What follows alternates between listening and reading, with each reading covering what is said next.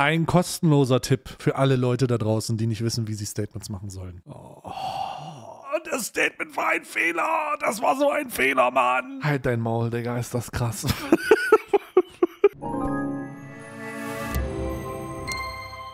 Du, ich, dieses Video, das ist die richtige Entscheidung gewesen. Aber wenn du es geguckt hast, dann schau doch mal bei Meinungsmacher vorbei. Da gibt es jeden Tag neue Informationen aus den Nachrichten und aller Welt mit politischen Themen. Oder vielleicht beim zweitklassigen Reaktionskanal. Denn wir haben so viele Reaktionen, dass die halt nicht auf den Hauptkanal passen. Also guck da gerne vorbei. Und jetzt weiter mit dem Video. Cut! Oh no, Sascha hat ja letztes Mal ein sehr gutes Video zur, zur Klamotte von Kyla Scheiks gemacht. Scheißwear heißt das und hat sich herausgestellt, dass mit der Hilfe ihrer fantastischen, qualifizierten Meisterschneiderin Mom das Ganze einfach nur nicht so geil ist. Ne? Also die, die Klamotten sind nicht so geil. Jetzt hat sie ein Video rausgerendert, da steht Kyla Scheiks, wie uneinsichtig kann man sein? Und jetzt, das geht wahrscheinlich um das Feedback und von dem Feedback habe ich sicher nichts gehört. Also ich habe keine Ahnung von dem Feedback. Wir gucken jetzt mal, wie das Feedback war. Das klingt jetzt in erster Instanz nicht so gut. Es ist Sonntag 18 Uhr mit eurem Girl Und ich möchte auch schnell ins Video starten, denn ich muss mit euch reden, Zuschauerschaft. Es klang jetzt ein bisschen ernster als geplant, keine Sorge. Papa und Mama trennen sich nicht. Damit meine ich wieder hinten. Aber ich habe einiges auf dem Herzen, was ich doch ganz gerne mit euch besprechen würde. Ich habe letzte Woche. Ach, bei Rammstein wart ihr alle hinter ihr gestanden. Hm.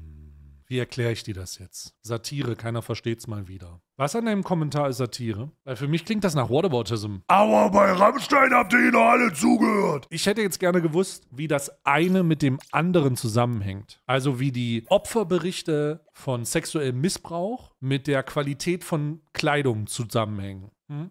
Bitte? Kannst du mir das kurz erklären? Ich, ich gieße mir derweil nur einen Tee ein, ne? Kommt nur keine Antwort, das ist ja komisch. Eben wurde immer so schnell geschrieben. Aber immer wenn ich frage, warum, Warum das ist, dann wird nicht mehr so schnell geschrieben. Das Video hochgeladen. Shike Swear, warum die Modewelt ohne Influencer besser dran wäre. Und wie einige von euch wissen, haben meine Mama und ich seit Jahren ein Format, wo wir mal vereinzelt Marken hinterfragen, ob beispielsweise von deutschen Influencern. Ich glaube, der Typ hat gerade einfach den Stream verlassen. Influencern, aber auch teilweise von Rihanna oder Kylie Jenner. Meine Mama ist gelernte Schneiderin. Ach, es hat keinen Sinn. Tschüss. Alter vier. Schneiderin und ich bin die professionelle Modepolizei. Eine Sache davon stimmt. Wir hinterfragen also Marken hinsichtlich ihrer Verarbeitung, Versprechen oder mhm. auch Preisvorstellung. Unser Ziel ist es aber auch aufzuklären, worauf ihr achten könnt, was vielleicht ein guter Stoff ist, wo ihr vielleicht nicht drin schwitzt, für welche Zwecke das geeignet ist und, und, und. Also es gibt super viel, was ihr hier mitnehmen könnt. Also auch ich auch ich, ich lerne immer wieder was dazu. Das Ganze tun wir aber unter der Prämisse, den Leuten nicht auszureden, es zu kaufen. So, jetzt kommen wir zurück zu diesem Video, denn das hat einigen von euch sehr gut gefallen. Es gibt aber auch War wirklich ein gutes Video. Äh, das lag aber auch an der sachlichen Auseinandernahme der Inhaltsstoffe und der Textilien. Ne? Möglicherweise Leute, denen es nicht gefallen hat. Und darunter ist Kyla Scheiks. Also die ähm, Macherin hinter der Marke Scheiks. Diese hat vier Tage nach meinem Video ein Statement auf ihrem Instagram-Kanal gepostet. Ein Form Wollt mich in einem Statement machen. Oh no, oh no. Es ist wieder eine vertane Chance für das Statement GmbH. Oh nein, eine fatale Chance von einem langen Text.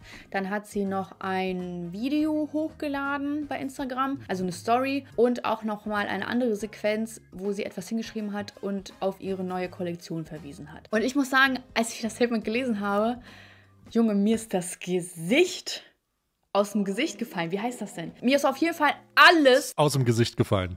Aus meinem Gesicht gefallen. Crazy. In diesem Statement ist sie nicht nur auf die Kritik nicht eingegangen. Und das waren ja 35 Minuten, das war ja schon echt langes Video, sondern sie hat auch versucht, mich zu diskreditieren, mir einige Dinge vorgeworfen. Und ich muss sagen, in all den Jahren, wo wir bisher Videos gemacht haben zu den verschiedenen Marken, zu den verschiedenen Influencern, ist mir sowas noch nie untergekommen. Ein kostenloser Tipp für alle Leute da draußen, die nicht wissen, wie sie Statements machen sollen. Das beste Statement, das man erstmal machen kann, ist, kein Statement zu machen. Dir schreiben ganz viele komischen PPGas in deinen Instagram-Kommentare rein. Hast du schon das Video dazu gesehen? Musst du unbedingt darauf antworten. Hast du schon eine Reaktion darauf gemacht? Halt deine Klappe. Warte. Warte länger. Du denkst, du hast lang genug gewartet? Warte doppelt so lang, wie du bisher gewartet hast. Du denkst, du hast dann lang genug gewartet? Warte noch eine Woche. Und dann kannst du darüber nachdenken, irgendwas dazu zu sagen. Noch nie ist jemand so uneinsichtig gewesen. Also die meisten antworten ja einfach nicht darauf. Das ist das, was ich gewohnt bin. Die sind halt so, ja, eigentlich wissen wir es so, aber naja, egal. Und dann Genau wie der Kommentarschreiber, der eben gerade von mir outgecallt wurde. Der hat gesehen, er steht auf verlorenem Posten. Der hat kurz gesagt Satire. Ich habe gesagt, erklär mal bitte. Und er hat gesagt, no, ich bin raus.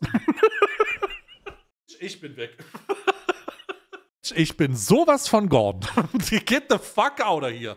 I'm not there anymore. Antworten ja einfach nicht darauf. Aber Kyla hat darauf bestanden zu antworten. Meine Konsequenzen aus diesem Wissen gezogen, die ihr natürlich alle jetzt nicht seht. Und wenn dann eine Sascha so ein Video macht, dann denkt ihr auch gar nicht daran. Aber ähm, vor allem die Leute, die mich halt sonst nicht kennen, aber naja. Und deswegen würde ich das gerne gemeinsam mit euch aufarbeiten, um vielleicht auch Sachen aufzuklären, nochmal aufzuzeigen und vielleicht auch die Kritik nochmal deutlicher rüberzubringen, was denn das eigentliche Problem ist. Also starten wir doch schnell ins Video heute live am Sonntag um 18 Uhr mit eurem Girl Sascha.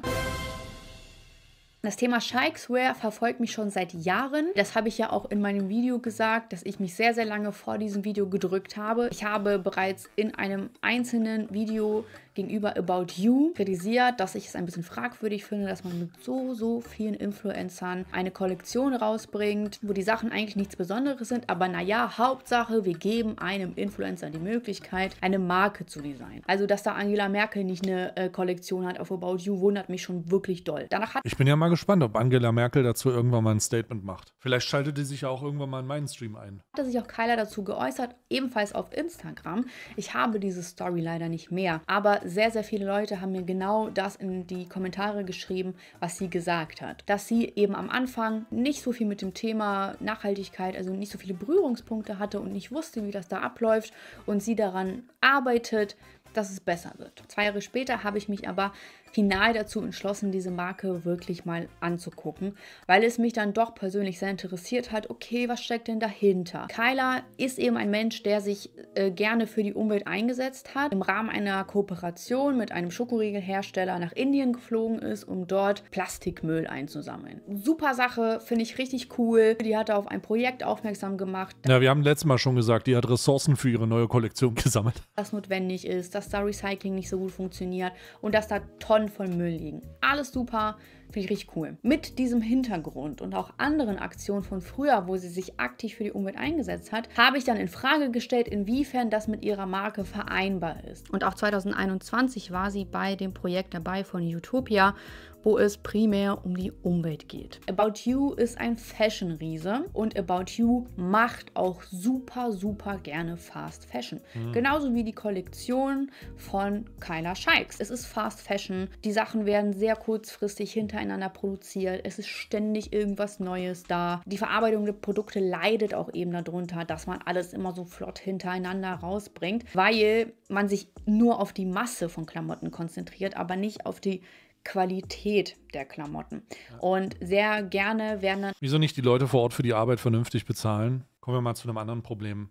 Ich sage das immer wieder, ne? Leider hat sich eine gewisse Gruppe von Menschen, nämlich der Konsument, sehr daran gewöhnt, dass Produkte im Textilsektor sehr, sehr günstig sind. Da, da ist das höchste der Gefühle, wenn man für sein T-Shirt 20 Euro zahlt. Und ich kann euch sagen, wer für sein T-Shirt 20 Euro zahlt, zahlt keinen fairen Preis. Zumindest nicht, weil er denkt, dass das ein fairer Preis ist für ein hochwertiges Produkt dann auch billige Stoffe eingesetzt, wie beispielsweise Polyester. Wir haben auch einige Sachen positiv hervorgehoben, beispielsweise die Sachen, die aus Baumwolle waren. Gleichzeitig haben wir aber auch die Preise hinterfragt. Ist die Qualität diesen Preis wert? So, jetzt habe ich euch das so ein bisschen zusammengefasst und aufgezeigt, warum man das hinterfragen konnte. Denn die Werte von Keiler, Umwelt, Plastikmüll, genau, viele können sich faire und ordentliche Kleidung nicht leisten. Aufsammeln und Fast Fashion Marke, also Fast Fashion ist ja maßgeblich für sehr, sehr viel. 20 Bro, so, verdient, so viel verdiene ich nicht mal. Bruder, du solltest dringend nach einer Taschengelderhöhung fragen. Müll auf der Welt verantwortlich.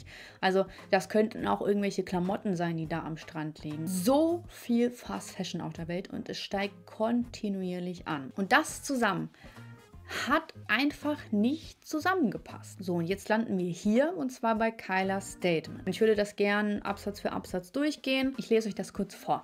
Leute, die von Saschkas Video kommen, in dem ihre Mom 70% der Zeit den Style und Schnitt für Gen Z kritisiert, wollen mich in ein Statement mobben. Wir haben nicht 70% der Zeit, ich Vielleicht ist das auch einfach übertrieben dargestellt, aber wir haben nicht Style und Schnitt von Gen Z kritisiert. Ja, wir haben ab und zu unsere Meinung gesagt, aber wenn wir hier bei Style sind, das, was wir zum Thema Style kritisiert haben, war, dass man hier auf der Webseite schreibt, ja, das hat Einflüsse aus den 90er und 2000er Jahren, aber eigentlich hat man eins zu eins nur die Looks von früher kopiert und da seinen Namen drauf geklatscht. Ja, das ist auch normal, dass Mode wiederkommen, aber das waren keine Einflüsse mehr, das war wie eine Raubkopie. Wir haben sogar in unserem Video gesagt, dass man das Rad nicht neu erfinden kann, aber du kannst den Leuten die Möglichkeit bieten, eine bessere Qualität zu kaufen. Früher hat man da oder hatte man nicht die Möglichkeiten darauf zu achten. Das Rad kann man nicht neu erfinden, aber man nimmt die alte Basics und erfindet man neu.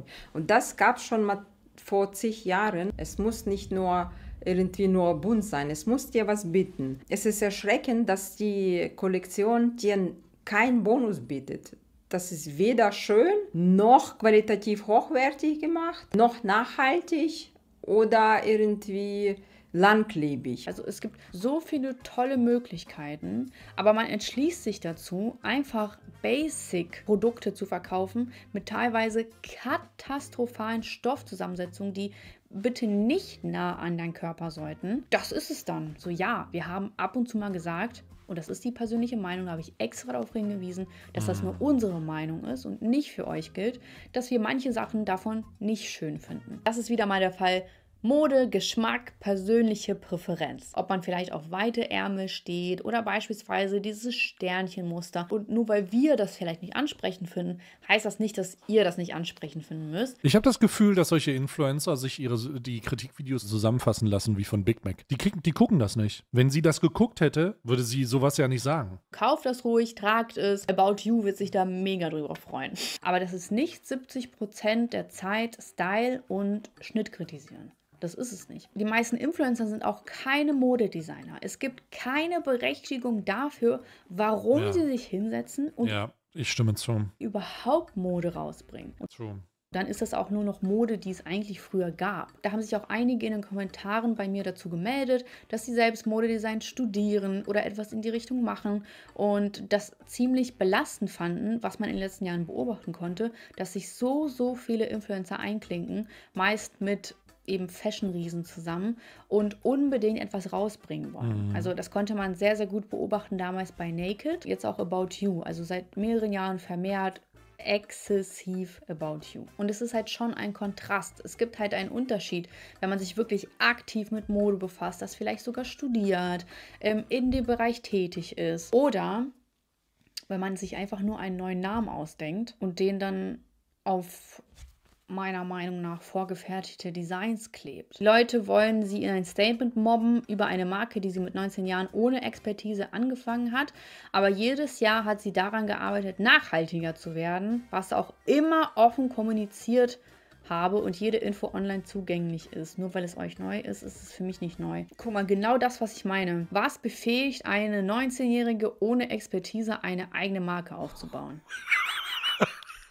uh. Ja, weil, naja, sie hat halt eine Zielgruppe, ne? Das kaufen halt Leute. Bruder, Leute haben auch diese dämliche Rohat-Brille gekauft. Die scheint ja zum Teil ausverkauft zu sein. Bruder, es gibt halt immer einen Kunden für immer irgendein Produkt. Da gibt es halt auch einen Kunden, der sagt, ich will eine Blaulicht-Filterbrille kaufen. Oder ich will diese ganz dünne Textil von Kyla Scheiks haben. Es gibt halt immer einen Konsumenten, der sowas holen kann. Es findet sich immer irgendwer. Make no mistake about it. Und es gibt überhaupt keinen Anspruch an die Qualität. Ne? Gar nicht nichts. Und das Frustrierende ist, was ich in der Vergangenheit beobachten konnte, ist, dass diese Marken, die werden ein, zwei, drei Jahre durchgerockt und dann ist plötzlich so ein Super Sale und, und dann wird sich nicht weg. mehr um die Marke gekümmert. Korrekt. Aber bis dahin war man so stolz drauf und man wollte die Welt verändern mit dem 30. Blazer, den ja, man ja. rausbringt. Aber irgendwann sagt man dann gar nichts dazu und lässt die Marke einfach ausfaden und da kommt nichts. Für Tastaturen sind hier gerade 8000 Kunden im Chat. Ja, bloß wir haben keine 8000 Tastaturen. Das ist das Problem.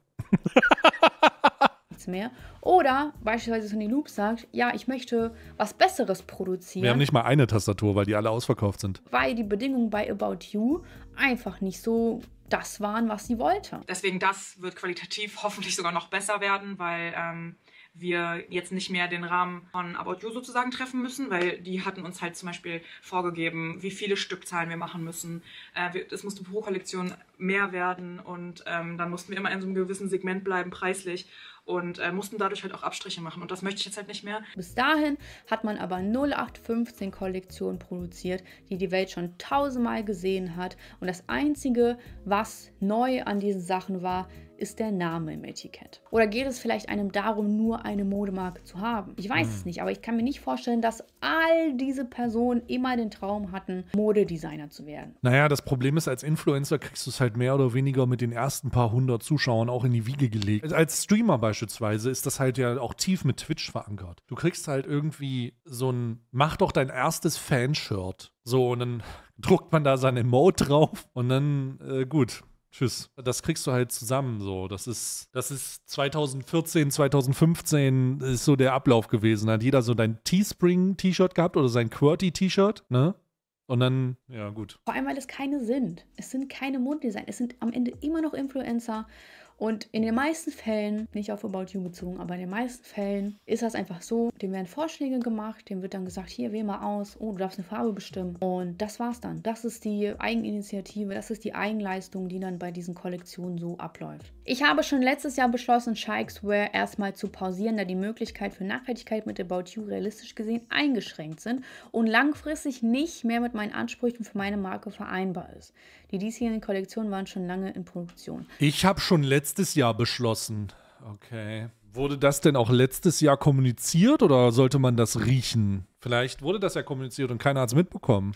Auch wenn sich mein Team diesbezüglich Mühe gibt. Die Sache mit der Nachhaltigkeit ist bei About You eingeschränkt. Das passt nicht mit der Marke zusammen. Dennoch haben wir jetzt super viele Kollektionen produziert, die ihr alle kaufen könnt, obwohl das nicht mit den Werten übereinstimmt. Ja, und jetzt kommen wir zu dir. Weißt du, was es ist? Das Taddel-Paradoxon. Ich nenne das das Taddel-Paradoxon, Digga. Ich nenne es das Taddel-Paradoxon. Du hast, du hast es leider bestellt, aber jetzt musst du dich selbst exposen und jetzt, jetzt hast du es ja schon bestellt. Jetzt, ach, wer, wer, ach Mann, ey. Jetzt ist das da. Mein Gott, dann kauft das halt. Mein Gott. Ist doch jetzt schon da. Aber wenn man doch schon vor einem Jahr beschlossen hat, ja, ja das Ganze zu pausieren. Warum ja, ja. kommuniziert man das dann nicht öffentlich? Warum sagt man nicht, ja, ey, hier, ich mache mal jetzt einen kleinen Stopp und so, weil ich erhoffe mir einfach langfristig von meiner Marke was Besseres. Ich möchte wirklich mit meiner Mode, ich möchte nachhaltiger werden, ich möchte bessere Stoffe verwenden. Nein, stattdessen wird ja immer wieder aktiv dafür Werbung gemacht. Vermutlich, weil das verkauft werden soll. Egal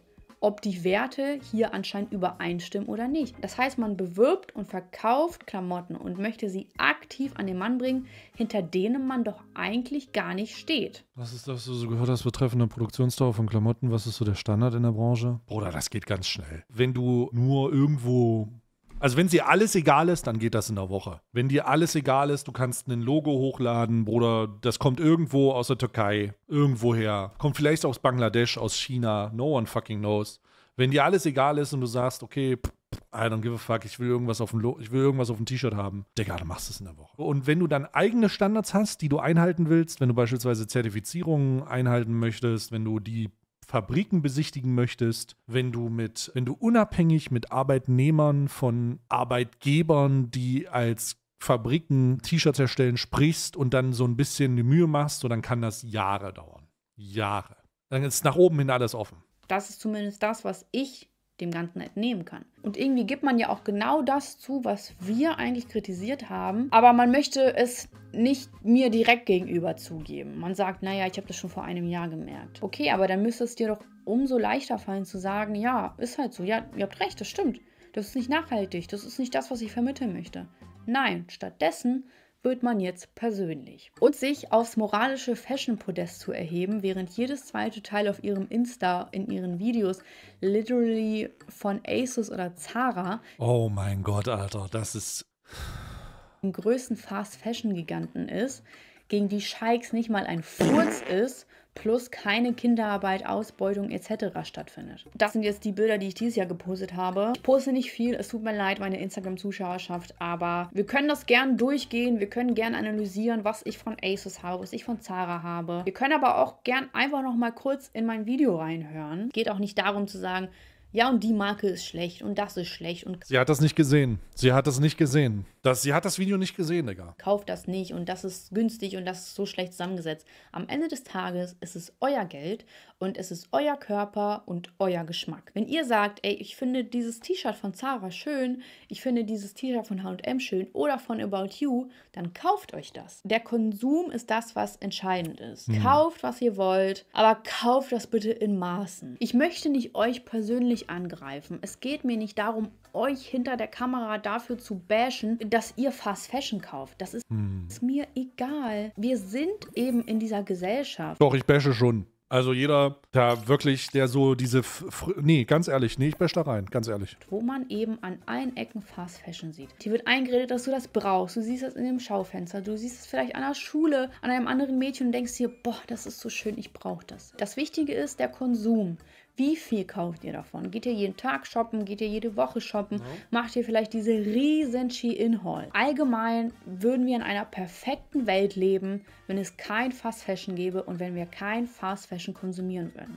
Das tun wir nicht. Und deswegen ist es unnötig, die Leute, die das kaufen, zu schämen, sondern was man machen kann, ist zu helfen. Man kann sagen, okay, achtet doch vielleicht einfach mal auf diese Stoffzusammensetzung. Baumwolle ist vielleicht gar nicht schlecht. Achtet doch mal darauf, wie die Nähte verarbeitet sind. Dann habt ihr wahrscheinlich viel, viel länger was von dem Oberteil, wenn ihr euch was Schönes raussucht. Und auch anhand meiner Videos könnt ihr sehen, ja, ich sitze hier oft in einem Adidas-Pulli und ich sitze hier in einem anderen Pulli und ich trage vielleicht dieses bunte Oberteil. Und das, was man halt auch sieht, ist, dass ich die Oberteile regelmäßig trage. Ich trage teilweise Oberteile von vor ein paar Jahren und ich werde sie auch noch in ein paar Jahren tragen. Ihr sollt euch Klamotten aussuchen, die ihr regelmäßig tragen könnt. Die halten, ja. Die nicht nur für eine Saison sind, Ja. die nicht nur für einen Tag sind und die nicht nach einem Tag zerfallen. Das ist ja das, was wir auch mit den Videos ähm, bewirken möchten. Na, wir möchten ja aufklären. Und das haben wir auch in dem Video ähm, über Kyla gesagt, über die Marke. Wenn ihr schon was kaufen möchtet, dann kauft beispielsweise diese Hose. Mir ein Teil, was man irgendwie mal tragen kann. Und das wäre die Hose. Wir haben sogar mal ein Video über Trendyol gemacht, wo wir sogar gute Sachen gefunden haben, obwohl das auch Fast Fashion ist. Aber wisst ihr was? Das Ganze hat nichts, aber auch gar nichts mit der Kritik zu tun. Denn hier wird versucht, sich auf eine Stufe mit mir zu stellen. Naja, was hat denn Sascha schon zu melden? Guck mal, die, jedes zweite Oberteil von der ist doch von Asus oder Zara. Ja, ja, super lame. Das ist ein bisschen schwach, ehrlich gesagt. Selbst wenn, die Kritik bleibt doch dieselbe. Ich trinke privat Alkohol, darf aber sehr wohl kritisieren, dass die Werbung für Alkohol auf Social Media fragwürdig ist. Es geht nicht darum, eine Privatperson zu kritisieren und das habe ich auch nie bei Kyla.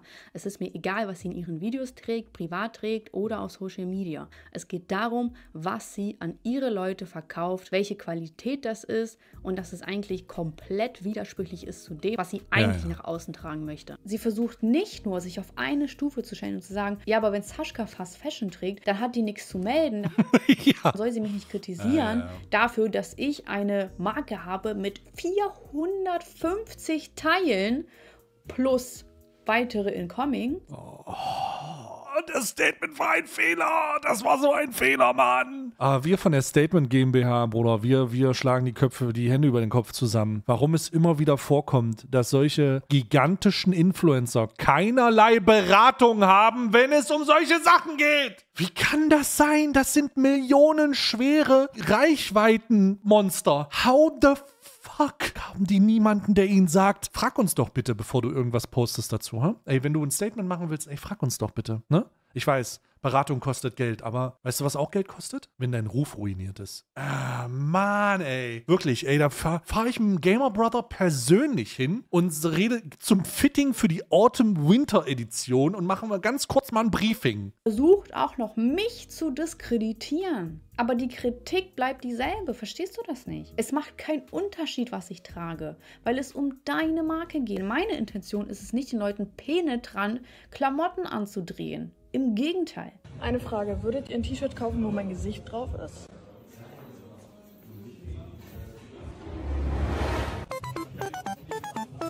Mit dem Finger auf mich zeigen relativiert nicht die Kritik an der Gesamtheit des Konzepts, zumal Ja. Kyla aktiv von ihrer Marke Fast Fashion und der daraus resultierenden Verschmutzung profitiert. In meinen Augen ist das eine Opferrolle und der Versuch, mich runterzumachen, um nicht auf Kritik eingehen zu müssen. Zumal ich ja nicht mal verlange, dass ihr kein Fast Fashion kauft.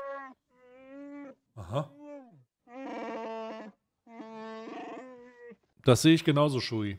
Ich finde dieses T-Shirt von H&M schön oder von About You, dann kauft euch das. Der Konsum ist das, was entscheidend ist. Geh auf die Kritik ein. Aber man bringt mich jetzt in die Bredouille, mich erklären zu müssen und mich rechtfertigen zu müssen, dass es nicht so ist. Und selbst wenn es so wäre, es kein ausschlaggebender Punkt wäre, weil die Kritik immer noch dieselbe ist. Und dann tue ich das auch noch. Ich sitze hier und rechtfertige mich dafür, obwohl das Ja. nicht mal ein Punkt ist. Es ist kein Punkt. Ja, aber es hat ja dann in dem, also es wird ja in dem Fall als Angriff genutzt. Gleichen ja. Atemzug sagt sie dann auch noch, dass Keine Kinderarbeit, Ausbeutung. About You oder Shikes besser wäre als Zara oder ASOS. Beispielsweise von den Herstellungsländern ist es ähnlich wie Zara und das sind Billiglohnländer. Dass sie da jetzt hinschreibt, keine Kinderarbeit und keine Ausbeutung, ähm, okay, dann vertraue ich mal darauf. Ne? Ich vertraue mal darauf, dass diese Oberteile, die dann auf 8,90 Euro reduziert wurden, Oh! hoffentlich nicht unter schrecklichen Bedingungen produziert wurden in China, Bulgarien Oh! oder der Türkei. 8,50 Euro oder 8,90 Euro, Ladies and Gentlemen. Sicherlich, sicherlich. Gut, wenn sie ihre Hand dafür ins Feuer legt und sie das ja extra hinschreibt, dann vertraue ich mal darauf, okay? Ich würde nicht meine Hast du das Video davor gesehen? Ja. Hand dafür ins Feuer legen, dass About You so viel besser ist als die beiden. Ja. Aber Kyla tut es anscheinend und dann kann ich da halt auch nichts gegen sagen. Ne? Dann schreibt sie weiterhin, aber bei mir ist halt alles schlimmer, weil ich mit einem tollen Projekt in Indien Müll sammeln gehe und vegan bin, weil ich nicht will, dass Tiere für mich leiden.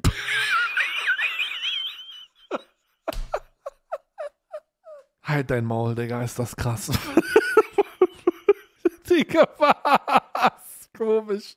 Ich weiß jetzt irgendwie nicht unbedingt, wo ich im Video erwähnt habe, dass es schlimm sei, dass sie vegan ist. Aber es ist halt meiner Meinung nach ein guter Ablenkungsversuch. Man muss also entweder perfekt sein, um sich über wichtige Dinge zu äußern, oder konstant nur andere kritisieren, Finger zeigen und somit selbst null Angriffsfläche bieten.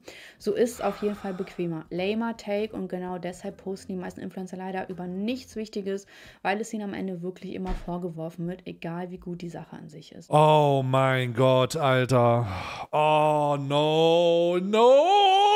Das sind doch deine Werte, die du vermitteln wolltest, für die du dich einsetzt. Und wenn man das plötzlich gegenüberstellt gegen diese Fast-Fashion-Marke, heißt es plötzlich, muss man denn perfekt sein, um auf wichtige Dinge hinweisen zu dürfen? Ja, aber wenn ich darauf hinweise, dann heißt es plötzlich, dass ich mich nicht dazu äußern darf, wenn ich ja selbst Fast-Fashion trage. Es geht um den Versuch zu gucken, okay, was kriege ich für mein Geld? Was kann ich dafür kriegen? Wie kann ich darauf achten, dass ich die Klamotten möglichst lange behalte? Ja, that's it. Und was wir halt bei Firmen bemängeln ist, warum man das überhaupt produzieren muss. Ich stelle nochmal die Frage, warum sitze ich hier, verplempere meine Zeit und rede über eine Kollektion, die wir schon tausendmal gesehen haben, in jedem Schaufenster vor mehreren Jahren. Kyla steckt dahinter, Kyla promotet das, Kyla möchte die Produkte an den Mann bringen. Und zwar exzessiv, mehrfach im Jahr. Keiner erwartet Perfektionismus, aber Influencer haben die Möglichkeit, etwas zu verändern. Und du hast dich entschieden, mit deinen Möglichkeiten Fast Fashion zu produzieren. Das ist normale Kritik, das ist nichts Persönliches, das ist nichts Angreifendes. Ja, das ist, ist auch, man muss da mal so ein bisschen klarkommen mit, Alter. Ich sag das jetzt einfach mal auch wirklich auf mich bezogen, weil ich ja eine, eine, eine Parallele dazu habe. Wir haben ja mit ähm, Anvil eine Tastaturenfirma, wo jetzt äh, ich da mit drin sitze. Ne? Also äh, wirklich die Firma. Ich bin da mit äh, eine Firma, ne? Eine Firma. Und die Kritik, die dazu ist, ist, das ist zu teuer. 260 Euro für eine, für eine Tastatur, die in Deutschland, äh, in, in Deutschland zusammengeschmiedet wird, ne? in so einer Garage ist zu teuer. Ist alles ausverkauft, ihr könnt doch gerade aktuell nicht kaufen. Ich sag nur, ich verstehe die Kritik, es ist zu teuer. Aber dann kaufst du die nicht. Es, ich kann, es nicht, geht nie günstiger. Ja. Geht nie günstiger. Deswegen sage ich doch nicht zu den Leuten, die gesagt haben, die das nennen, sage ich doch nicht, äh, nur weil ich vegan bin und ich mein politisches linkes Weltbild habe, sagen die Leute das zu mir.